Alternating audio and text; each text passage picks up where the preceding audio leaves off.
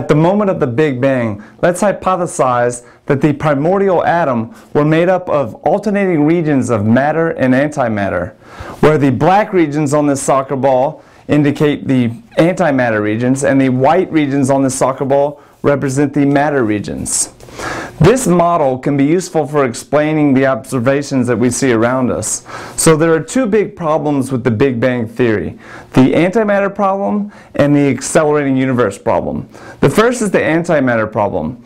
There's believed to be an equal amount of antimatter and matter in the early universe. So for every particle, there's an antiparticle. For every proton, there's an antiproton. For every electron, there's an anti-electron, which is called a positron. It's been given the name.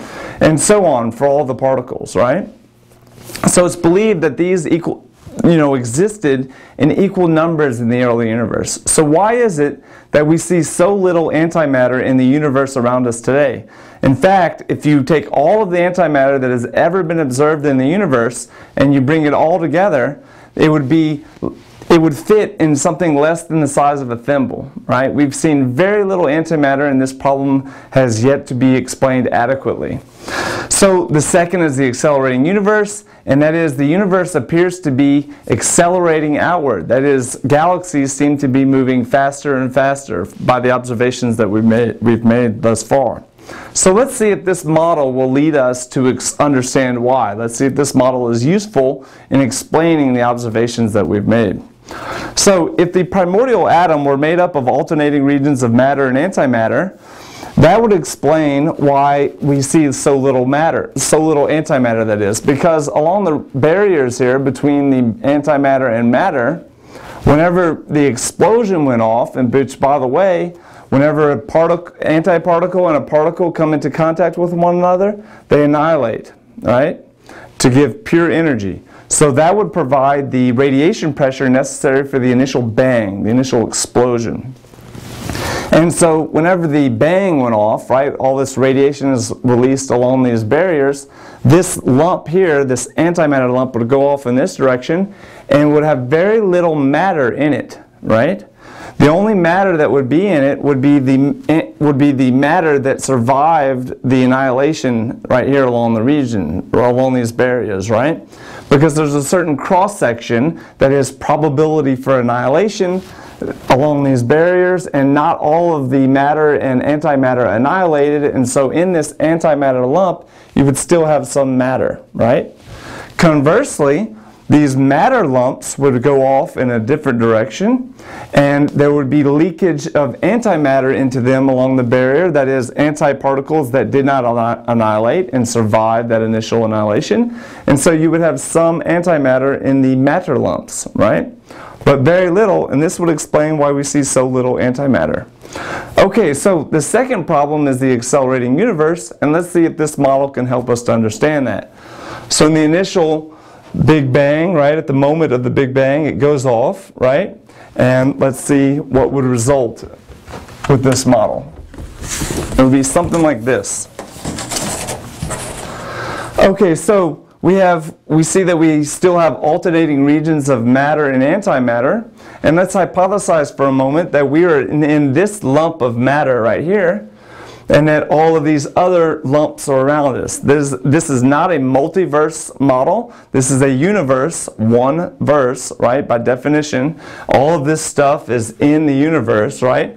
But there are individual lumps of matter and, ma and antimatter in alternating fashion, okay?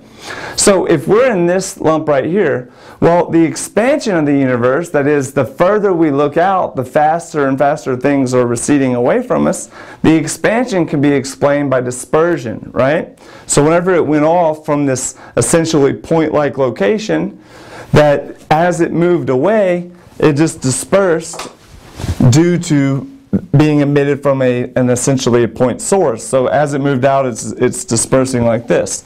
And so this would explain expansion at constant velocity. But then the curvature, that is the acceleration that we see, can be explained by these other lumps that are out there, right? So this lump here is pulling on us, and so there would be a spike of curvature right here in this region, a spike in this region, a spike in this region, and you know cor corresponding spikes you know, behind this guy, right? Of acceleration, right? Okay, so this is, you know, a model that can be useful for explaining away these two issues. Now, what is what are first of all what are some observations that we can make? Well we can make the you know we could you know look at some different hubble curves the different azimuth and inclination and plot you know the conca- you know the different hubble curves and look at the concavity and see how it varies over inclination and azimuth right? Now also you wonder why can't we see these other guys is it because of curvature of space? Is it because we essentially live in a black hole and we try to see out off of our lump, but we can't see out and we see out and around our lump? Well, observations don't seem, seem to reinforce that idea because on a galactic or universal scale, space is largely flat, right? Now we have local regions of tight curvature near black holes and believe it or not on the surface of electrons because electrons have very small radii and they have a mass so there's you know there's a gravitational curvature right there that is an acceleration due to gravity right near the surface of the electron and so those are you know local curvatures near each electron, right? But on a large scale, if you get away from the electron a little bit, space is largely not curved at all. And so light doesn't curve through it as light moves through it. Um, so then why can't we see these guys? Very simple. They're too far away. It'd be akin to putting a light bulb on Pluto, a 100 watt light bulb on Pluto, and trying to see it with a telescope. Very few photons would arrive at us from that light bulb, and so we wouldn't be able to see that light bulb on Pluto. Okay?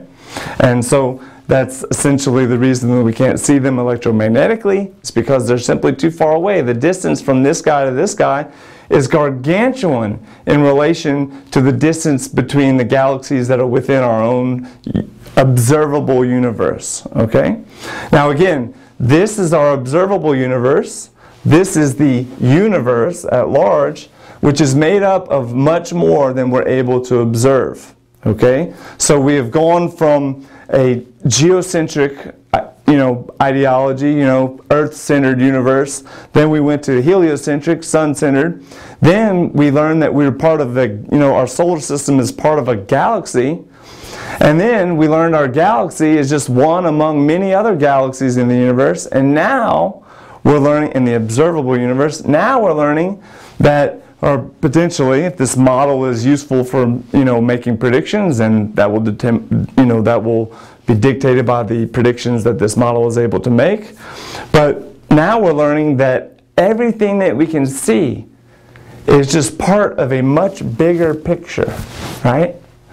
Okay so a model for explaining the antimatter and the antimatter problem and the accelerating universe problem and it can be useful for you know understanding those problems also the prediction of oscillating there should be an oscillatory change in Hubble curvature as we move about the celestial sphere. That is a prediction that the model should match if the model is to be successful. If not, if that oscillation relationship does not exist, then we should discard this model and try to search for other models. But this model does not require any new physics. That is the beauty of it. It, all the existing physics doesn't you know require any exotic particles or anything like that. Everything is at our fingertips, right? We just need to fit the geometry to it and get outside the box, right? The box that we've you know been in of you know thinking we're looking at everything. Now, um, for the cosmologist out there, the issue of all of space being wrapped up in the initial singularity and space expanding, right? And you have this space-time entanglement, if you will. That problem can be solved with quantized time in that the universe moves from state to state to state to state. It moves through time discretely rather than continuously. And this solution to Einstein's equations will yield a fortuitous result that will allow this model to be harmonious with our equations. See you next time.